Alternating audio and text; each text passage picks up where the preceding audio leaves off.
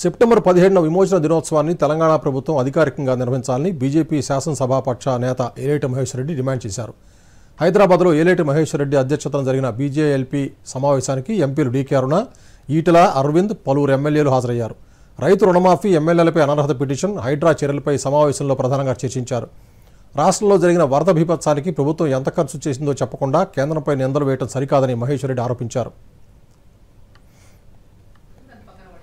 అదే మాదిరిగా వక్బోర్డ్ అంశంలో కూడా ఒక వర్గం తప్పుడు ప్రచారం చేస్తా ఉన్నది. వక్బోర్డ్ అంశంలో ప్రజలకు వాస్తవాలు తెలియజేసి మరి దాని మీద అవగాహన కల్పించాల్సినటువంటి బాధ్యత కూడా మరి ప్రభుత్వం మీద ఉన్నది. రైతులకు అందరికీ రుణమాఫీ జరగక రైతులు ఇబ్బంది పడతా ఉంటే మొన్న మేడ్చల్లో ఒక రైతు కూడా ఆత్మహత్య చేసుకున్నటువంటి సంగతి మీకు తెలుసు. మరి రైతులకు అన్యాయం ఒకవైపు అందరికీ రుణమాఫీ జరగక అన్యాయం జరుగుతూ ఉంటే మీరు ఇస్తామన్నటువంటి రైతు బంధు ఇవ్వక మరోవైపు నుంచి ఈ ఫ్లడ్స్ వల్ల కూడా రైతులు కూడా అల్లాడిపోతున్న సందర్భంగా వారిని ఆదుకోవాల్సిన బాధ్యత ప్రభుత్వం మీద ఉన్నది.